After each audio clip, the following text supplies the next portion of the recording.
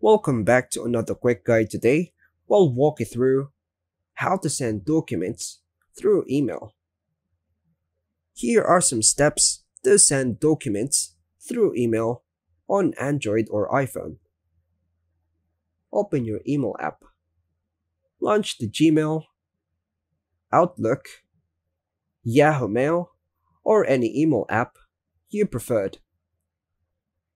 Tap Compose to start a new email.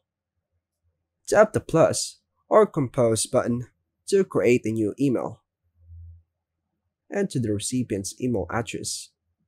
Type the email address of the person you're sending the document to. Add the subject and message. Write the subject line. Add a message to explain the document. Tap the attachment icon or paperclip. Look for the paperclip icon or attach file option. Select the document to attach.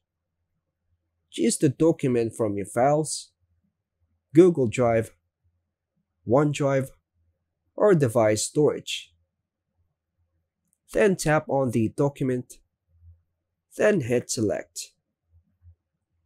Wait for the upload to complete.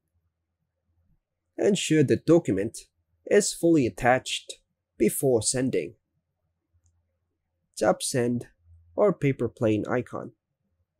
Tap send to email the document. Now, your document has been successfully sent via email. And that's all for now folks. Thanks for watching.